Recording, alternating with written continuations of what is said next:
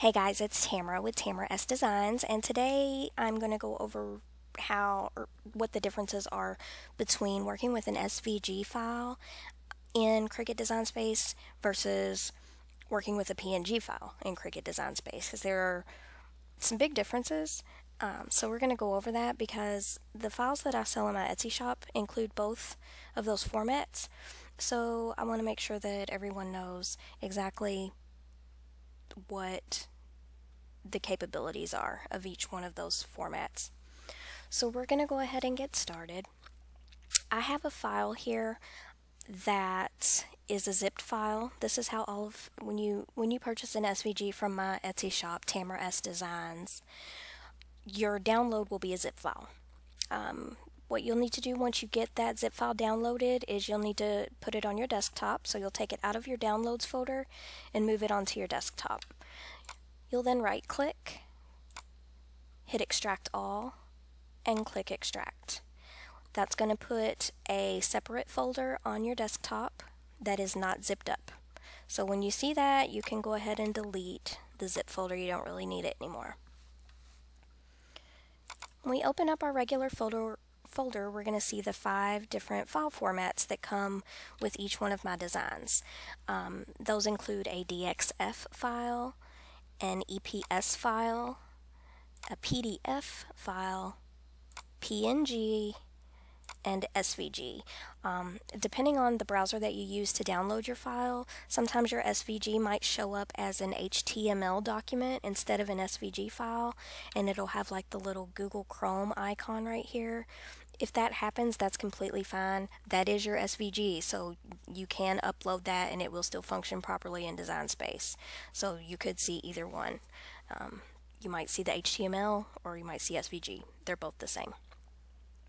Um, DXF is for Silhouette users who have the basic edition of um, the Silhouette Design Studio software. Um, that basic edition doesn't accept SVG files, so a DXF file is what you use on that.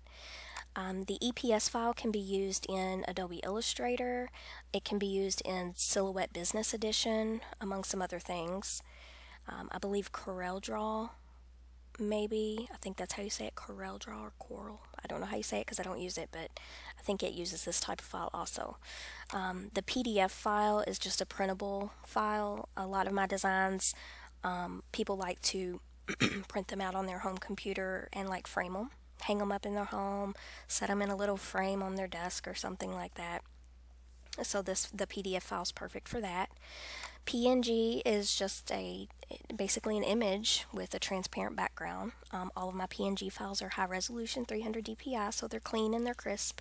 They're really good for like digital scrapbooking and um, things like that, or to even use as like clip art, I guess, if you wanted to.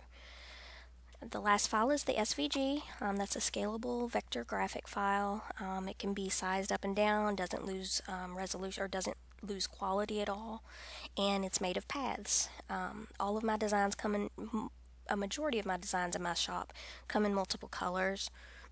So the SVG is actually the way to go when you're uploading a file to Design Space um, that has multiple colors, and you're going to see why here in just a second.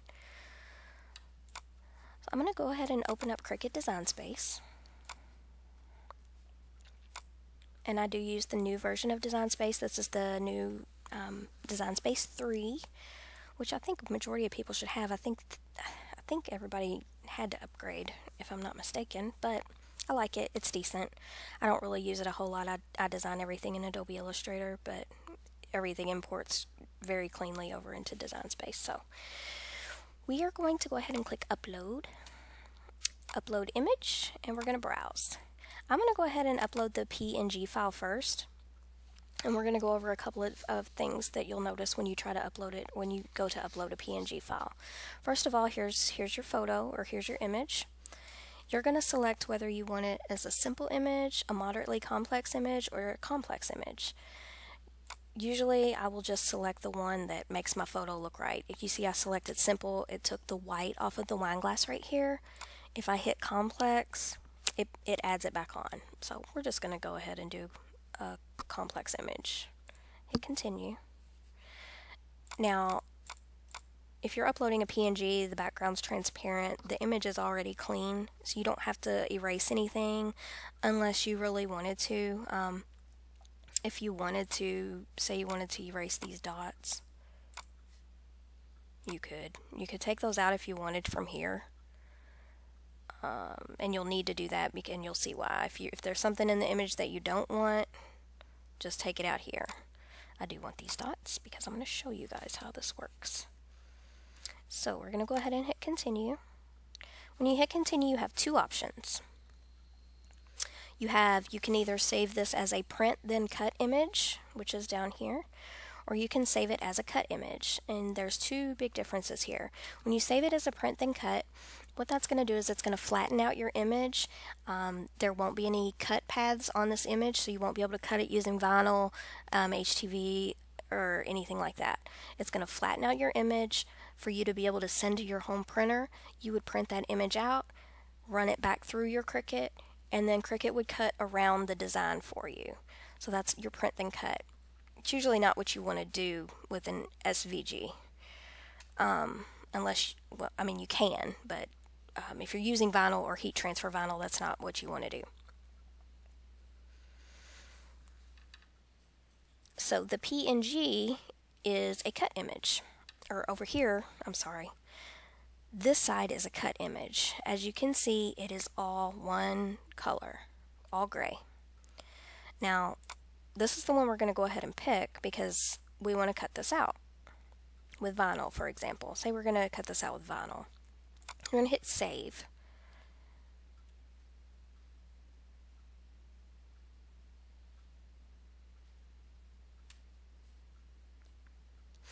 Here's my image. I'm going to click click the image and click insert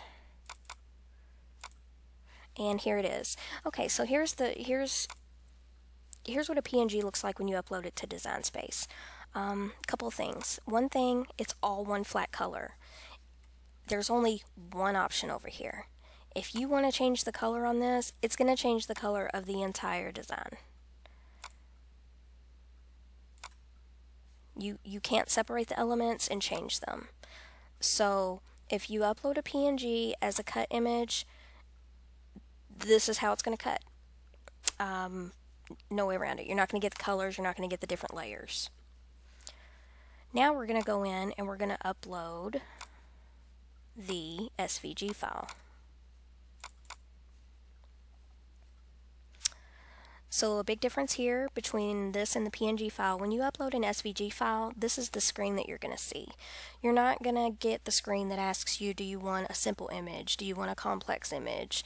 Um, or or it's not going to ask you do you want it to be a print then cut or a cut image this is it so you upload it as an SVG your image shows up here and you click save and that's all you need to do Super, so much easier and so much simpler and faster especially if you have an image like like my designs don't need to be cleaned up in design space so there's really no no reason to use the PNG in design space unless you had a specific reason for using it so let's go ahead and um, add the SVG to our project. Okay, some major differences here. You can see first big thing is that it's all in color. Um, you've got your your different colors. You've got your blacks, your reds, you got your white. You see several different groups over here in the on the right hand column. So to change these elements, you would just click your design and click ungroup and this will allow you to change the color of, let's just say we wanted to change our letters to um, green. So there we go. We changed our letters to green, but we want to keep everything else the same, so we're good. Um, it will also allow you to change the color of these little accent dots if you wanted to. If you want to change the color of the wine glass, the wine glass is its own separate little group, just click it and click ungroup.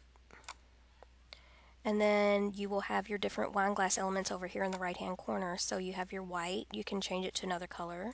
You have your red, you can change it to another color. You can change the outline of the wine glass. I don't want to do any of that, so I'm actually going to group all those back together.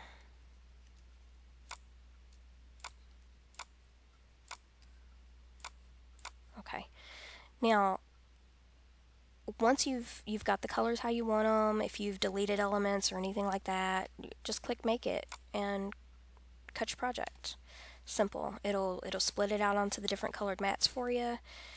If you say that you wanted these dots to all cut out in the same exact order that you see them right here, because you just want to be able to lay them all on your design at one time and have them line up perfectly. If you want to do that, just ungroup your whole image like you did at the beginning. Select each group of dots and click attach. Excuse me. When you do that and you click make it, you'll see that your red mat will have the dots in the exact order in the exact locations where they need to be so you can just lay it flat right on top of your design and they will be they will cut exactly where they need to cut so that you can have your design look exactly like this. So that's basically it. Those are the major differences. So you can you have a lot more capability with an SVG in Design Space than you do with a PNG.